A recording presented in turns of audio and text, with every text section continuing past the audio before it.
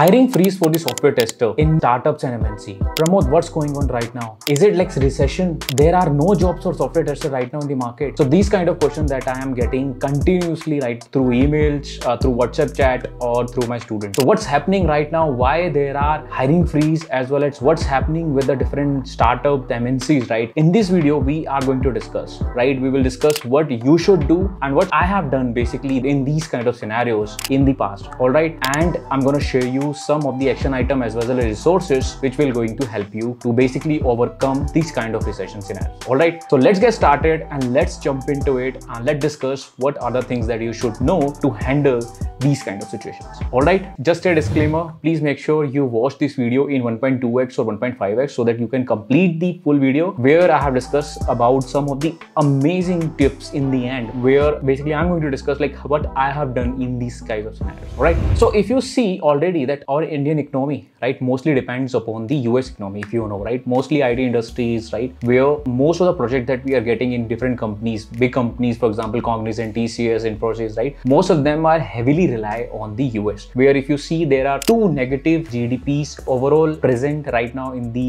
USA, right? Almost like experts are already saying that we are already in the recession, in, especially in US. So that's where the impact is coming in the Indian startups as well as MNCs also. Where if you have seen like many startups like Cognizant, uh, TCS, Infosys are completely, they have already freezed their hirings. There are no new projects that what I have heard as well as I had a discussion with couple of uh, HRs also where they have completely told that there are no new projects coming, only the existing projects that we are completing them. So that's why. And if you know uh, last time also Indian startups layoffs side there are layoffs also happening right now because of the recessions as well as no new projects okay so what you should do I know it's one of the situation where many times it's very very sad for the freshers as well as the people who really want to jump into the software testing or even as a developer or anywhere right?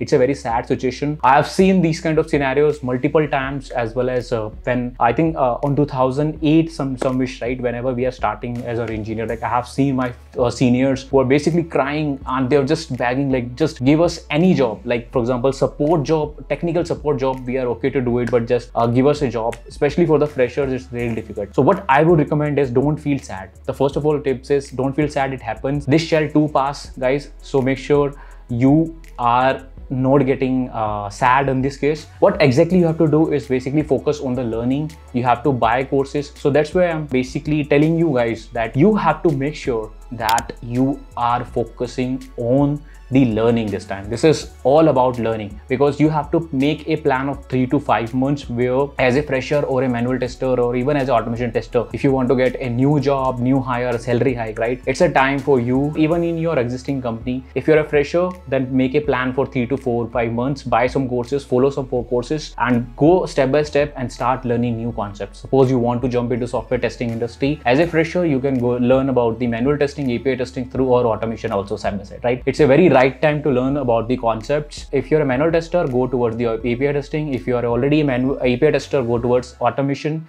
If you're an automation tester, learn about the different scaling concepts like scaling, Docker, and other. So learning is the main objective overall, right? What I would recommend is do 30 day challenges. I think plenty of challenges are already available on the Testing Academy channel. We have like 30 days of rest assured, API testing, Postman, Selenium, and many more, right? Go ahead and start learning. Keep on applying. So now, now remember the three important tips. We just keep on applying wherever you find the jobs, different jobs. Reference is the most important thing right nowadays. What what exactly is a reference? Is reference where you will basically contact a person and as a reference they will provide you a job. These references are more important rather than applying directly. Okay, so pay attention to the references. Ask for referral from your friends, colleague, peers, wherever you have worked or anywhere. I mean, I mean any friend who is basically working in some company that you think they require some of the QA or software tester. Start applying and make sure you have a references in this case. It's time for you to perfect your resume, add the projects if possible, and make sure your resume has a proper keyword. So I have basically created multiple videos around it. Make sure you do that. Okay, so what I have done, very interesting part, right? So I have seen it, this kind of scenario multiple times.